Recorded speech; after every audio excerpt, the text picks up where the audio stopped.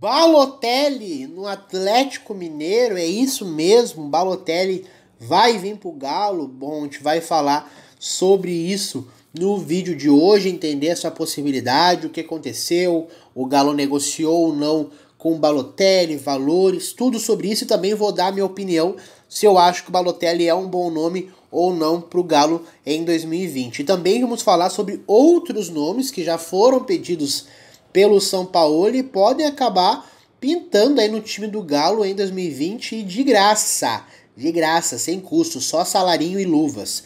A gente vai falar sobre isso também no vídeo de hoje. Mas antes de começar, eu vou te pedir, caso você não seja inscrito aqui no canal, cara, desce aqui. É só clicar no botãozinho escrito inscreva-se. A gente está quase chegando nos 100 mil inscritos. Falta pouco, conto muito com a tua colaboração e também deixa o teu like. O teu like é importantíssimo porque daí o YouTube entende que o vídeo é relevante, manda para mais pessoas esse vídeo e mais pessoas vão falar sobre o Atlético Mineiro aqui no YouTube. Então deixa o teu like para que mais pessoas possam vir aqui no vídeo e comentar e falar mais e mais e mais sobre o Galo. E aqui tem muito vídeo sobre o Galo, tu não vai te arrepender de ser inscrito no canal.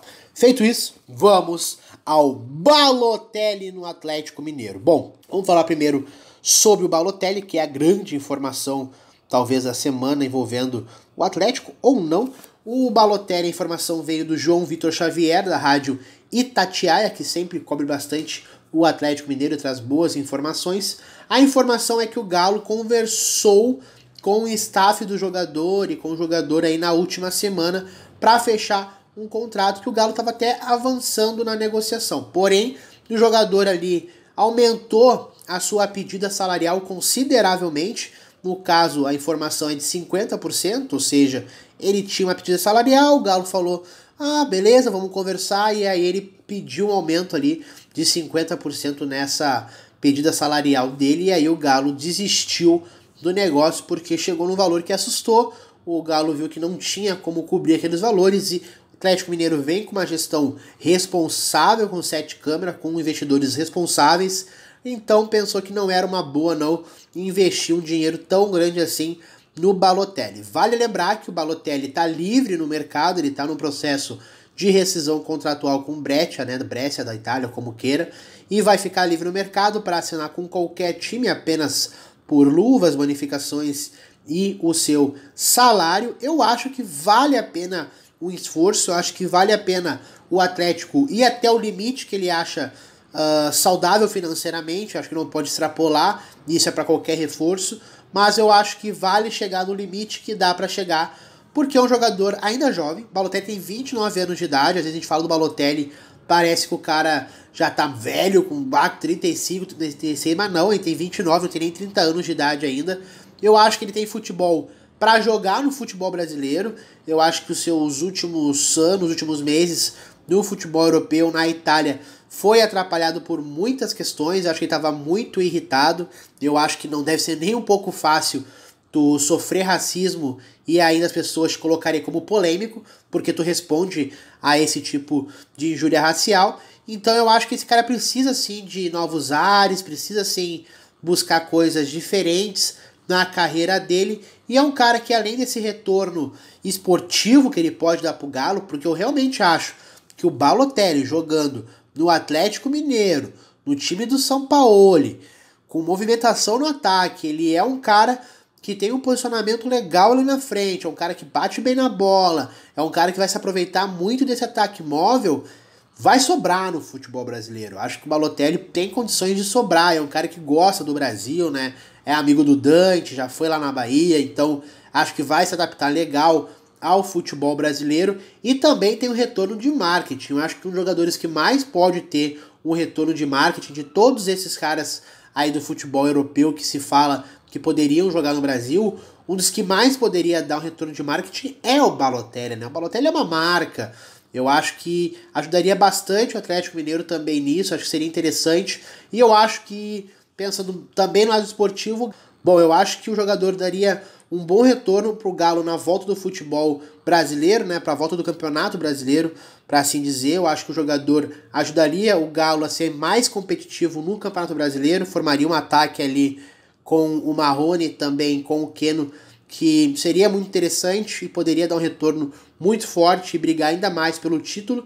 E as informações que vêm da Itália é que o Balotelli pode pintar num time da América do Sul ou então da Ásia, que seriam os destinos favoritos ali do Balotelli. Fala-se bastante do Boca Juniors, que o Boca estaria interessado na contratação do jogador, e também sempre do Flamengo, que já tentou o jogador algumas vezes, e pode ser que tente de novo até agora.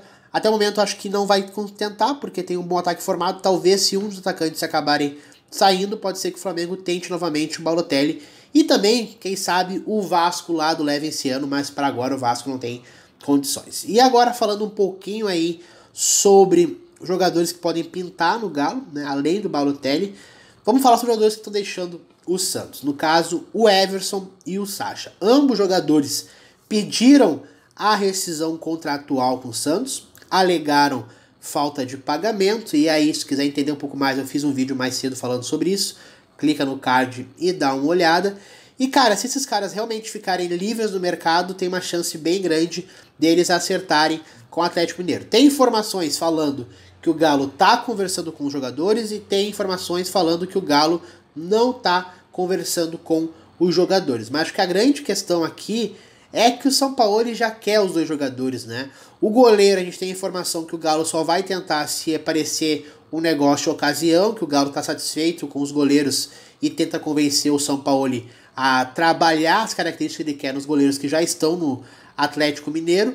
Porém, o um, negócio de ocasião é o Everson fora do Santos, né? O Everson de graça, aí é um negócio que a diretoria tem que pensar seriamente. E acho que é um cara que chegaria muito bem, chegaria para brigar por titularidade no Atlético Mineiro.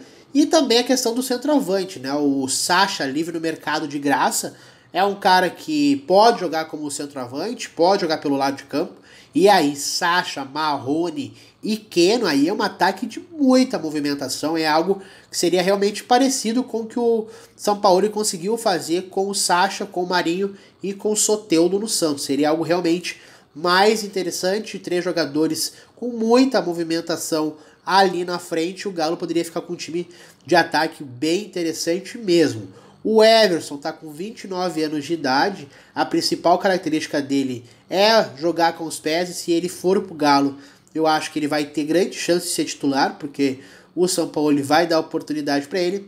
E o Sacha chegaria com 28 anos e poderia ter até um poder de revenda ainda considerável no Atlético Mineiro. Eu acho que essas duas contratações seriam do clube mesmo, sem investidor, o clube ir lá e tentar contratá-los, porque já são jogadores uma idade um pouquinho mais avançada, que até tem um poder de revenda interessante, mas que eu acho que o clube poderia bancar ambas contratações ali, pagando o salário e conseguindo manter eles durante um bom período. Como eu falei, as informações até agora são conflitantes. Alguns falam que o Galo não está conversando com jogadores, outros falam que o Galo está de olho na situação e está preparando uma investida em algum deles. Se acontecer alguma coisa a mais nas próximas semanas, a gente vai, ou nos próximos dias ou nas próximas horas, a gente vai voltar aqui e falar. Comenta aí embaixo o que, que tu acha sobre Everson, sobre Sacha, sobre Balotelli, contrataria, não contrataria, tua opinião sempre é muito importante. Pega o link desse vídeo e manda, compartilha com os teus amigos, com todos os torcedores do Galo que tu conhece, porque daí chama mais gente, a gente chega ainda mais rápido no 100 mil inscritos. Conto contigo, hein? Pega o vídeo, compartilha com pelo menos um amigo para ter mais gente. Cada um compartilhar com um amigo e se inscrever, aí a gente chega nos 100 mil inscritos logo logo. Feito isso, até o próximo e tchau, tchau.